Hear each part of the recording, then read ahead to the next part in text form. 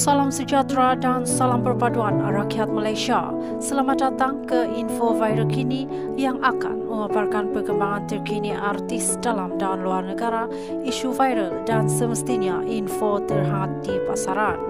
Sila tekan butang subscribe, like dan share serta aktifkan loceng notifikasi supaya anda tidak ketinggalan mengikuti berita terkini. Sumber berita dipetik daripada gempa berita terkini dalam proses selesaikan kemelut rumah tangga Syamsul Yusuf ada sebab berdiam diri. Pelakon dan pengarah Syamsul Yusuf sebenarnya dalam proses menyelesaikan kemelut rumah tangganya.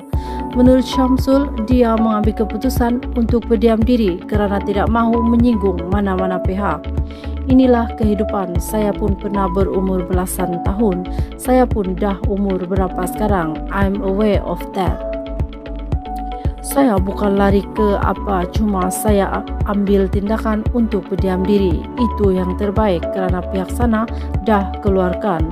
Saya tidak mahu bila saya cakap nanti menyinggung perasaan istri menyinggung perasaan mana-mana pihak. Tapi itulah dia. Kadang-kadang orang sekarang ini netizen menganggap minta maaf saya cakap tanpa kita sedar menganggap the real life now is for them to watch dan macam makan popcorn what's next? Apa episode minggu depan? Tapi ini kehidupan sebenar. Ini adalah pilihan saya atau siapa sahaja artis yang diberi pilihan untuk tidak memberikan, memberikan komen.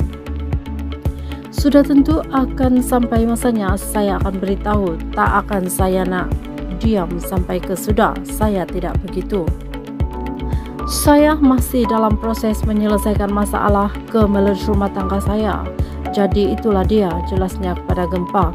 Syamsul ditemui usai secara langsung program meletup di studio 1 Astro pada Selasa.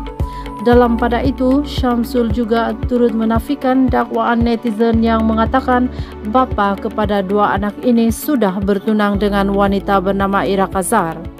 Baru-baru ini pula kata Syamsul dah bertunang. Kat mana pula saya bertunang? Hari itu keluar saya dah kahwin pula ujarnya. Nantikan temu bual penuh dalam segmen lancang betul untuk minggu ini. Terdahulu pada Mei lalu muncul desas-desus mengatakan Syamsul sudah berkahwin senyap-senyap dengan Ira. Terbaru pada 21 Jun, istrinya Putri Sarah telah berkongsi satu tangkap layar yang mendakwa Syamsul telah melangsungkan pertunangan dengan wanita tersebut. Sekian info hari ini. Terima kasih.